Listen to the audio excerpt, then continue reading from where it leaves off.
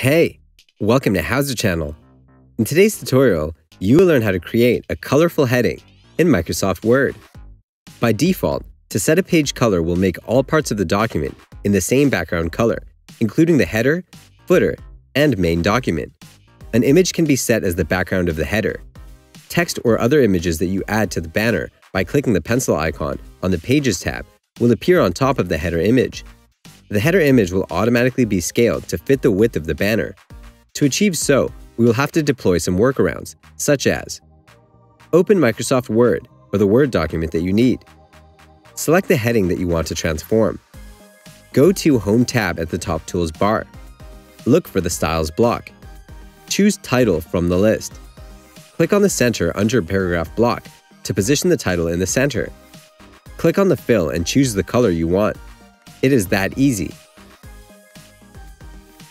Select the heading that you want to transform. Go to Home tab at the top tools bar.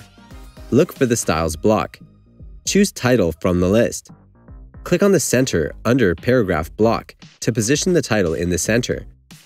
Click on the fill and choose the color you want. That's it. Thanks for watching the video. Please like it and let us know if you used any of our tips and tricks. Subscribe to our channel. We upload new tutorials every day. See ya!